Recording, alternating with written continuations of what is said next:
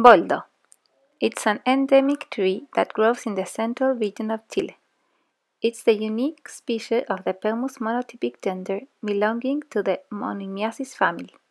Although it is a medium-sized tree, it can grow more than 15 meters high and has an evergreen foliage.